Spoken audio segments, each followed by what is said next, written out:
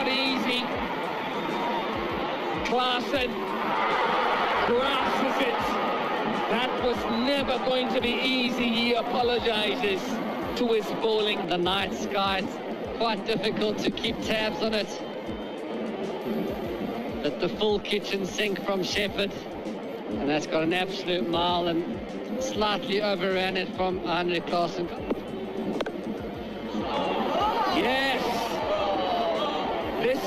Quality of some of the West Indies low order batting. If they can get the... Oh, he's hit that. Oh, what wonderful ball striking from the man from Berbice in Guyana, Romario Shepherd. He hasn't had the greatest of series with the bat.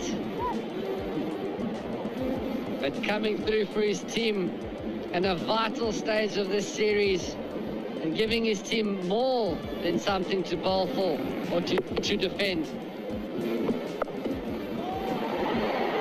More of it. Another six for Shepherd. Two, six, four, six. Which country code is that? 18. Totals of 200 or more here at the Wanderers. Three of them have been successfully chased.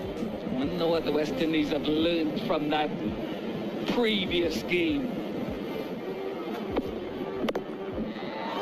Oh, Romario! Romario!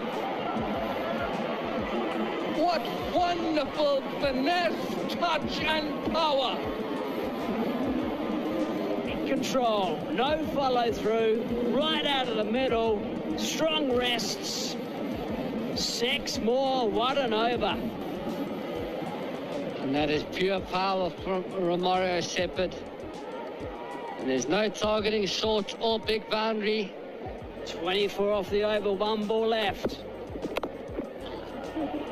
Anticlimax should be two. Run, Joseph, run. What a finish to this innings by Romario Shepherd.